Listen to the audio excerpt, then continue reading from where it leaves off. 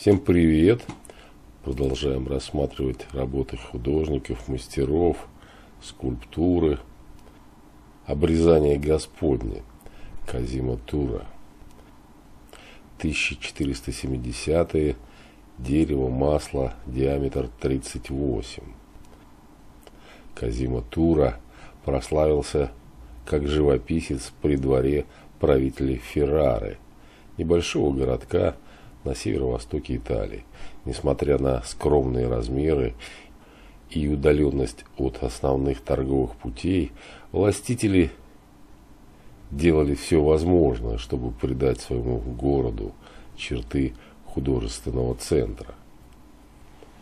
В период правления маркиза Леонелла де Эсте и его сына Борсо де Эсте сформировалась так называемая феррарская живописная школа, характеризующаяся особым аллегорическим языком.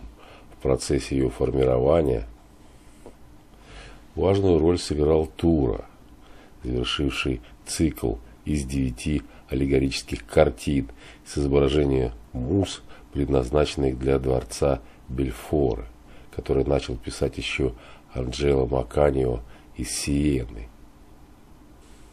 Данная панель украшала интерьер городской церкви святого Георгия. На панели представлена сцена обрезания Христа. Мария держит на руках младенца Иисуса. Он непроизвольно оборачивается к матери. За Мадонной стоит Иосиф Обручник.